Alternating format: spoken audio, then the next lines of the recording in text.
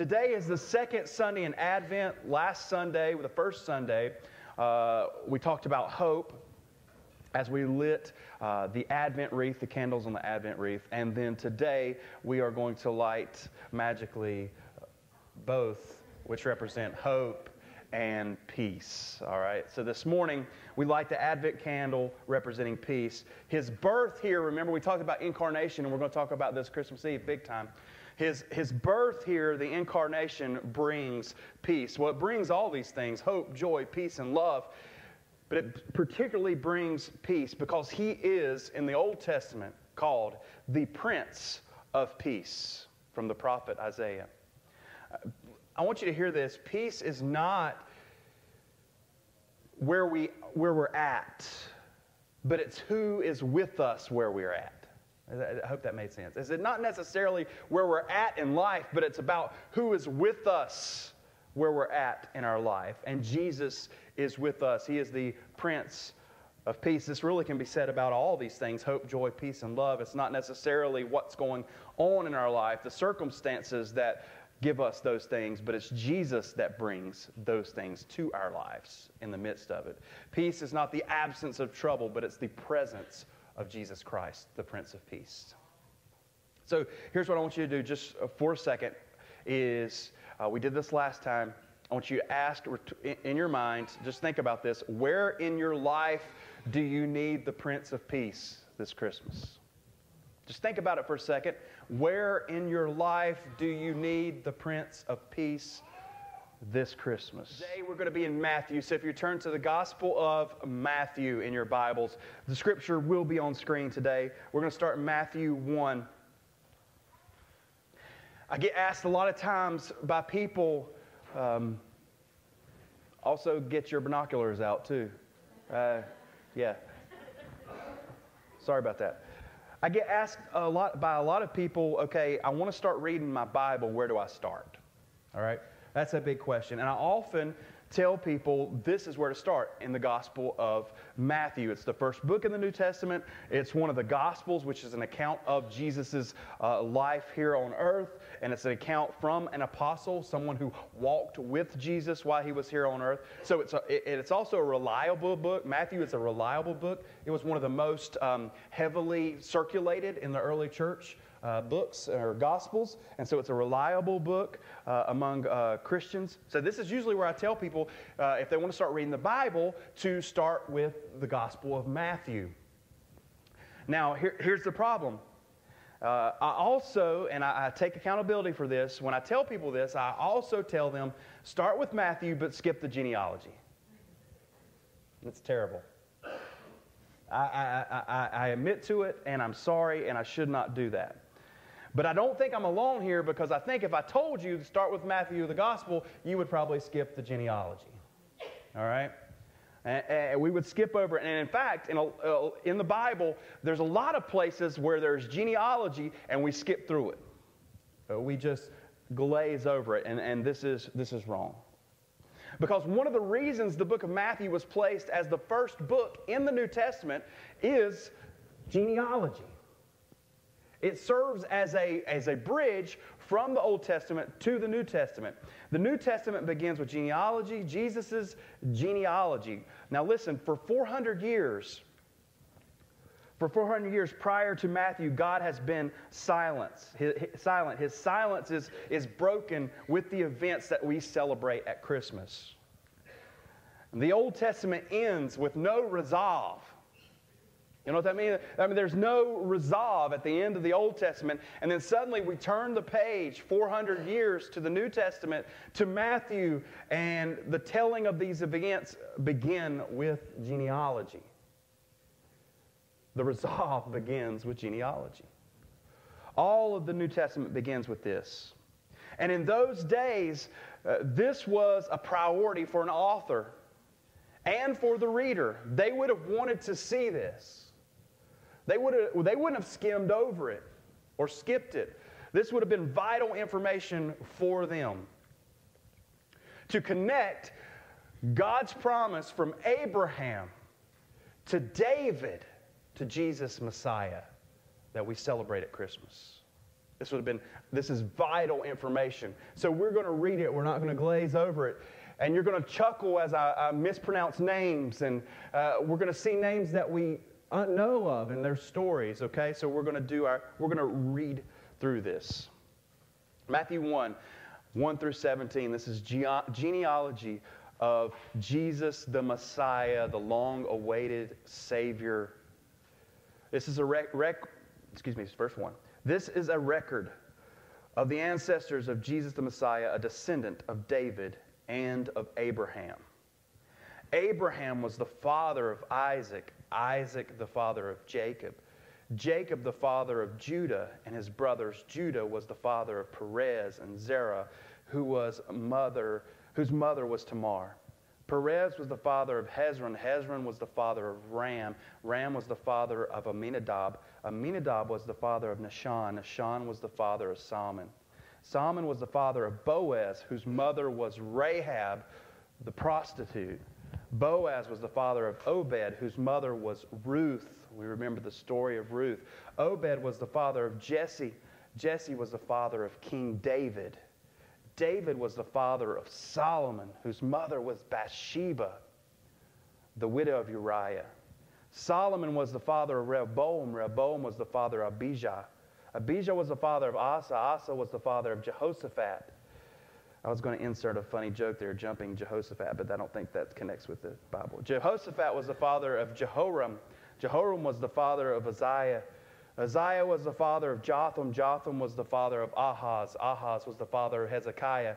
Hezekiah was the father of Manasseh. Manasseh the father of Amon. Amon the father of Josiah. Josiah the father of Jehoiakim and his brothers, born at the time of the exile to Babylon.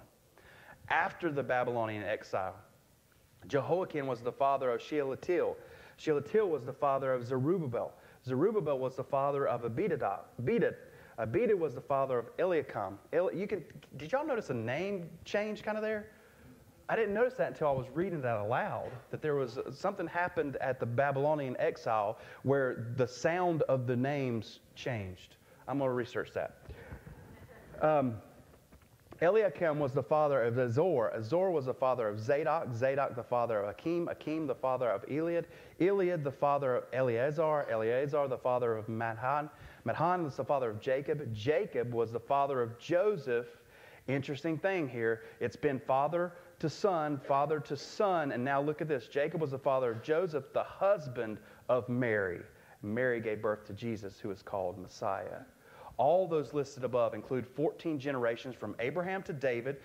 That's what the Jews would want to see connected Abraham to Jer- uh, David, 14 from David to a Babylonian exile, and 14 from the Babylonian exile to the Messiah. Okay, let's talk for a second. Genealogies. My wife is big on genealogies. She has the ancestors.com, ancestry.com. Maybe some of you got um, I do too because she has made me have it and look up my ancestors, the subscription. And she has traced her family lineage back to probably the Garden of Eden. Um, I have, uh, and during this, every, they got little leaves that pop up when you when something new happens in the ancestry.com. And so every time a little leaf pops up for her, I have the honor and privilege of listening to a story about one of her ancestors. God bless her, she's working in the kids' ministry today. And she discovers something new about one of her ancestors. But as we read through the ancestry, the ancestors of Jesus, and we see these names, each person in Jesus' genealogy has a story, right? Not just a name, it has a story. And some of them we know, right? We feel as we read their name, we know their story from the Old Testament. So Matthew's birth narrative begins with genealogy. Not the most exciting way to begin. In fact, again, we tend to skip over the scripture altogether. But then ancestry was important to Matthew, and it should be to us. This is why he leads with it in the New Testament. Matthew was a tax collector, remember? He had an interesting interest in accounting. And in his line of work, uh, keeping an account was important. This is something I read I want to share with you. As a tax collector, tax collector, Matthew possessed a skill that makes his writing all the more exciting for Christians. Tax collectors were expected to be able to write in a form of shorthand, which essentially meant that Matthew could record a person's word as they spoke, word for word. This ability means that the words of Matthew are not only inspired by the Holy Spirit, but should represent an actual transcript of some of Christ's sermons. For example, the Sermon on the Mount, as recorded in chapters 5 through 7, is almost certainly a perfect recording of the great message. Isn't that awesome? Matthew's purpose for, the, for beginning with Jesus' genealogy is to strike a chord with the Jews, connecting Jesus with important names and their stories throughout Jewish history. The major connections being Abraham and David, which is highlighted at the beginning and the end of this genealogy. And Matthew knew that genealogies were important to all, to all Jews, and they kept extensive genealogies themselves. They did this for two reasons to establish a person's legitimacy and then inheritance rights. That's why they kept uh, uh, uh their genealogies. About finished it. So, Matthew, the Jewish tax collector, turned apostle of Christ, uses the genealogy to establish Jesus' legitimacy and inheritance, beginning with Father Abraham and David. If you notice, there are also five women listed in this genealogy. And this would, have, this would have been unusual to include women in those days. What makes it even more unusual is that some of these women, which I mentioned one, had questionable character, and two of them were Gentiles. It is Jesus' genealogy that begins Matthew that proves he is the king of the Jews, king of the world, king for all people. Genealogy is important. So we need to keep that in mind as we read Matthew and not glaze over genealogy, especially this time of the year. The Bible is God's big story and this genealogy is the big reveal of God's hero in the story, which is Jesus. We turn from Old Testament, to New Testament, 400 years of silence. Matthew starts with genealogy, and there's a big reveal of the hero and how he's connected to the Old Testament. So that's a little bit about genealogy. Let's talk about Joseph. We're going to talk about three things genealogy, Joseph, and wise men. Okay? So let's talk about Joseph for a minute. Matthew 1 18 through 25. It's going to be familiar to you. This is how Jesus the Messiah was born. His mother, Mary, was engaged to be married to Joseph, but before the marriage took place, while she was still a virgin, she became pregnant through the power of the Holy Spirit. Joseph, to whom she was engaged, was a righteous man and did not want to disgrace her publicly, so he decided to break the engagement quietly. As he considered this, an angel of the Lord appeared to him in a dream. Joseph, son of David, the angel said, Do not be afraid to take Mary as your wife, for the child within her was conceived by the Holy Spirit and she will have a son, and you are to name him Jesus, for he will save his people from their sins. And all of this occurred to fulfill the Lord's message through his prophet. Look, the virgin, this is the, the message through his prophet. Look, the virgin will conceive a child. She will give birth to a son. They will call him Emmanuel. We sang about this. God with us. And when Joseph woke up, he did as the angel of the Lord commanded and took Mary as his wife, but he did not have sexual relations with her until her son was born. And Joseph named him Jesus.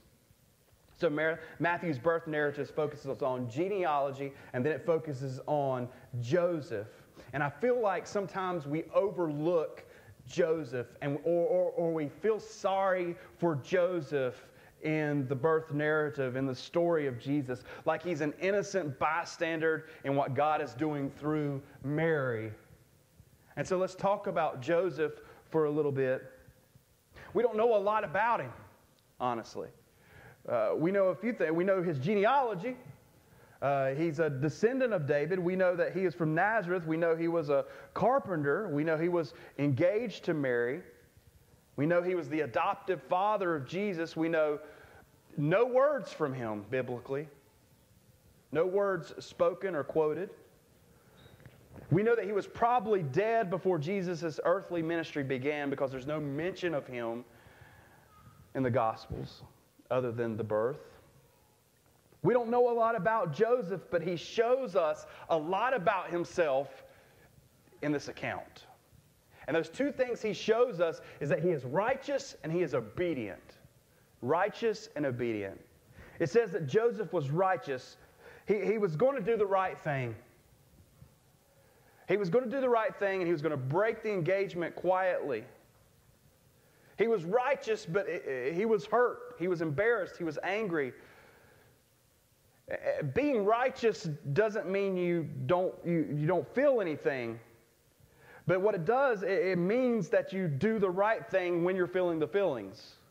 Okay?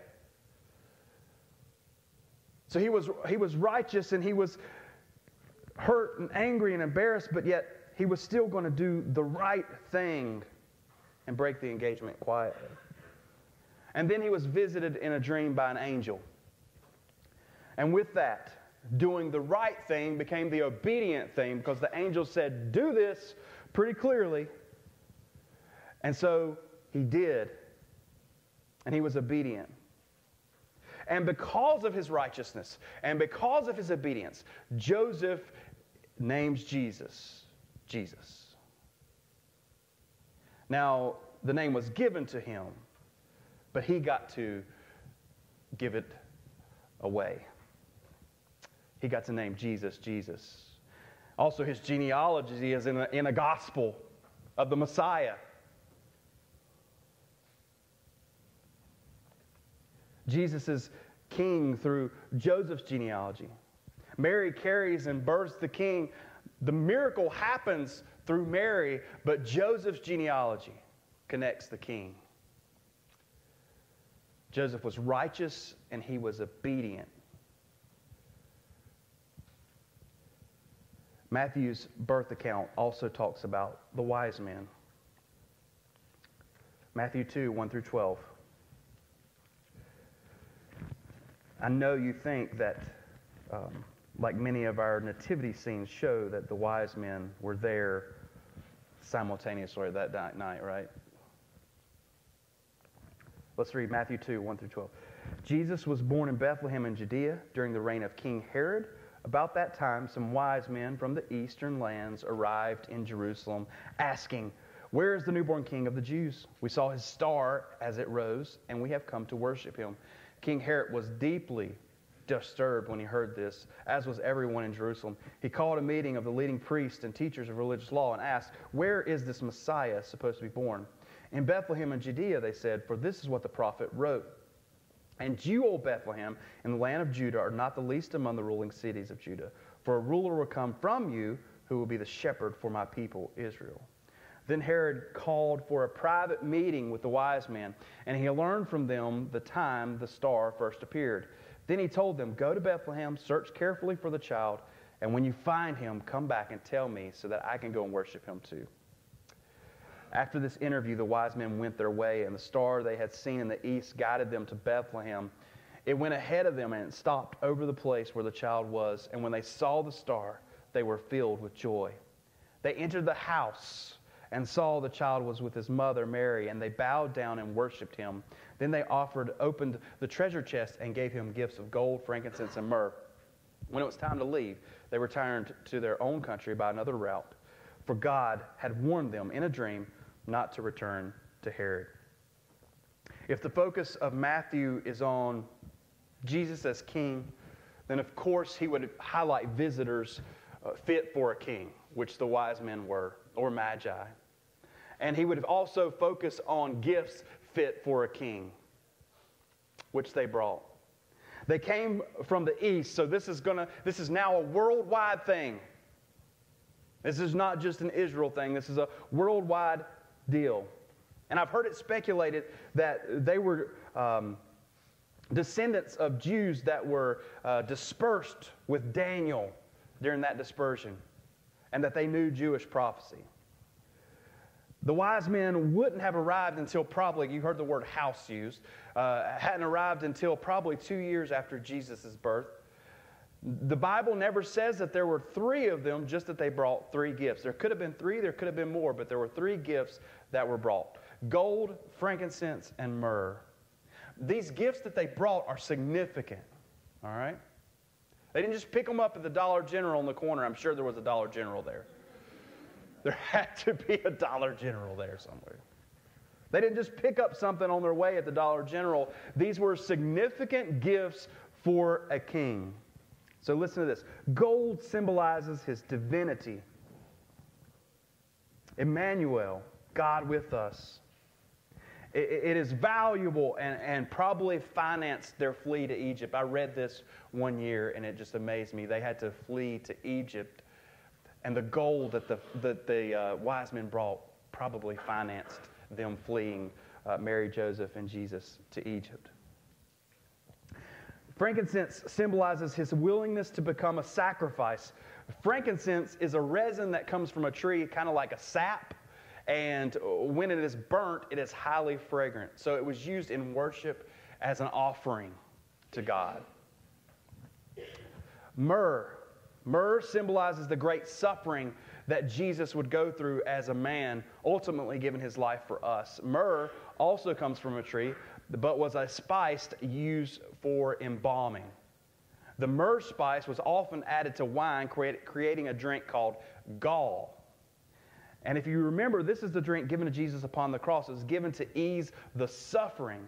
And Jesus tasted it, realized that it, what it was, and would not drink it. He rejected it because it would numb the suffering.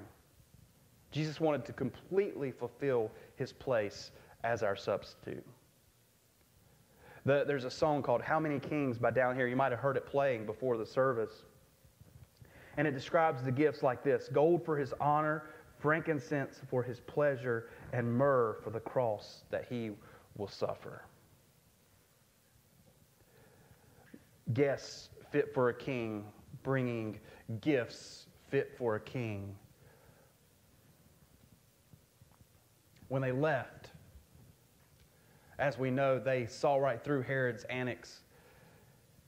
And when they left, they didn't just take a different physical route to avoid Herod, but they, they returned to where they came from, having experienced something life changing. And it's said that the wise men were the first missionaries for Jesus Christ in the East, where they traveled to and traveled from.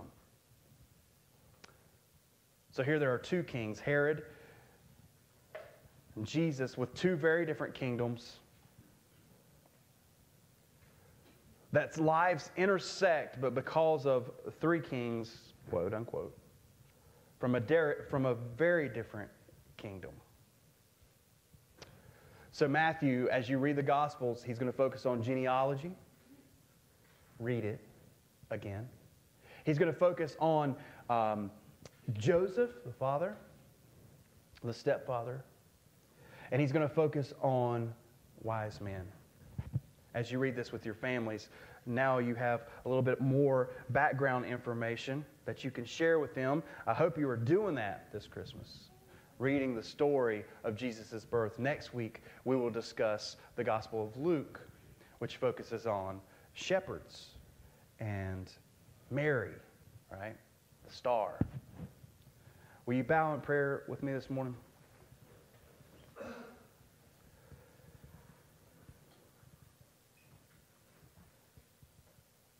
Father God, we thank you for your word.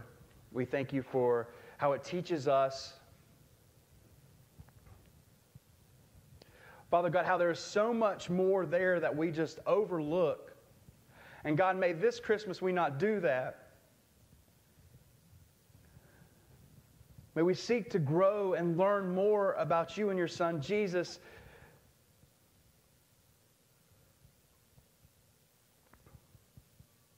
So, Father God, that we can share with others that the Messiah has come and the Messiah will come again.